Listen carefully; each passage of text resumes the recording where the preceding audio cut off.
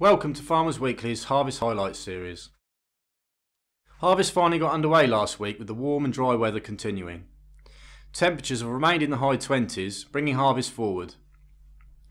The heat wave has caused growers concerns over crop damage, with drought stress becoming noticeable over the last week in wheat on lighter land. Only last week we saw pictures of winter barley looking some way off, but a week on and reports of harvesting are coming in thick and fast. Reported yields have been around 7 to 7.5 tonnes per hectare.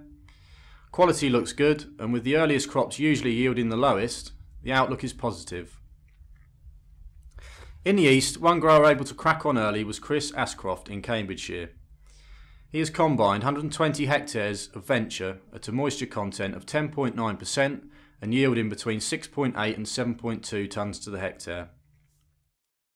Just up the road near Bury St Edmunds, organic farmer John Pawsey has harvested over 50 hectares of Suzuka winter barley. He says yields are better than last year and specific weight is around 70 kilograms to the hectolitre. Down near Chepstow, close to the Welsh border, Neville Bartlett has been cutting his variety California, yielding 7.4 tonnes to the hectare and coming in at 15.6% moisture. Two of the heaviest crops of winter barley this week are at opposite ends of the country. R. Cooper and Sons near Terrington, North Yorkshire, and DJ May near Barnstaple, Devon, both achieving 8.75 tonnes to the hectare. We've now received the first report of winter oilseed rape being harvested, with Martin Bartholomew near Chichester, Sussex, cutting 3 hectares of Allegria for seed. The crop yielded 3.9 tonnes to the hectare at 8.4% moisture. However, most remain behind, either waiting to ripen after desiccation or only just being sprayed off or swathed as we speak.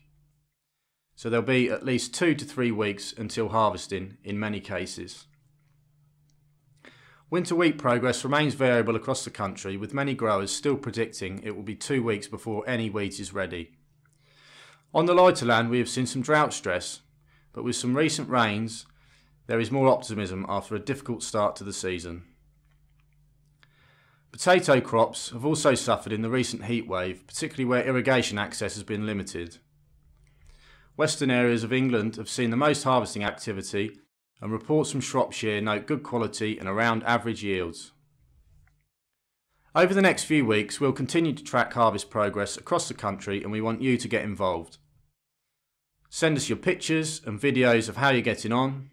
This could be anything from a short clip of you loading your trailer, cutting your first crop, or even just the conditions in your fields. Basically anything to get us updated on your harvest progress. We'll use these in our series to keep the farming community updated on the harvest in every corner of the country. So join us next week for more harvest highlights.